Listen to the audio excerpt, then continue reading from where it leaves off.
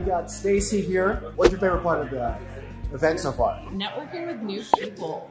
I feel like it's such a quaint environment, so getting to know everybody on an intimate level has been phenomenal. What was your favorite presentation? Rachel so far, but TBD still tomorrow.